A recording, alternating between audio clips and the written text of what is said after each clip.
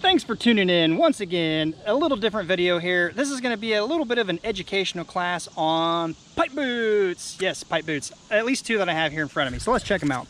On the left side we have the cadillac daddy of them all. It's an aluminum pipe boot. It's a beautiful thing. Uh, look at the brand there however you want to pronounce that we're going to show you another one here in a second. So they've got these, which are, like I said, the, the Caddy Cadillac, Daddy Cadillac, however you want to say it, whatever is your favorite. Ooh, it's the Cadillac.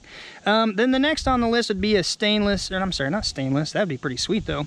Um, a galvanized steel. So when you have galvanized, anything with iron, and you, back in like, I don't know, second grade, third grade, it's gonna oxidize, it's gonna rust over time. It's gonna look like crap, it's gonna be shitty, it's gonna eventually rust holes in it, but it's gonna hold up a whole lot better than contender number two we got here.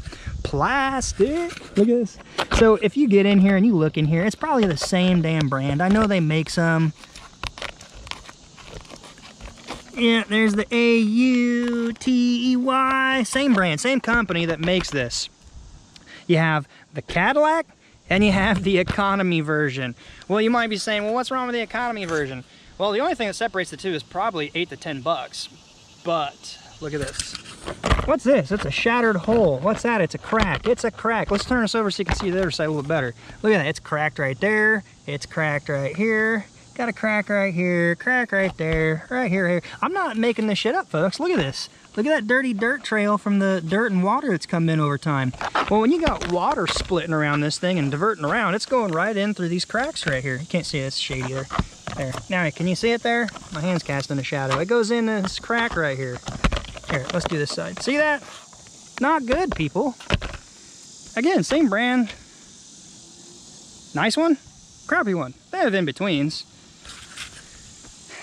I guess it, let me relate this a little different way, because I'm sure you've bought a, a, car in your time, and maybe you go to a dealer, whether you bought new or not, you're going to go to dealer A and dealer B, and you're looking at the exact same car, and they're not exactly quite the same price. So you're just looking at price, like, hot diggity damn, I got a good deal, I'm going to buy it over here. No, you're going to look through and be like, oh, that one's got aluminum rims. Um, that one's got tinted windows. It's got leather, so smells good every time I get in. You know, those are the things you're going to look at and compare. One's got hot spots, satellite, you know, that justifies the cost difference. You don't want to just commoditize shit and just go, oh, that's one's cheap. I'm going to save me some money. Well, guess what? When you save some money, that's what you end up with right here. and you're to pay a lot more in the end. So, yeah, we got a flat bar out of section, bad rotted wood. We got to buy all this new, cut it out, the labor to do this on a hot ass day. Why? Because you saved a few bucks? I mean, let's just... I'm to piss some of you off, but I'm, this video is to help educate you. And when you're shopping for your do-it-yourself list at your box stores, guess what? This here, yes, box stores supplies this and Roofing Supply House supplies this. This one, not so much at your box stores. You're to have to go to a Roofing Supply House or online to get these. They're not a whole lot more, but I can tell you, a few bucks more is to be a great kick-ass insurance policy to this. There's ceiling damage, insulation is all wet and nasty, it just is shitty.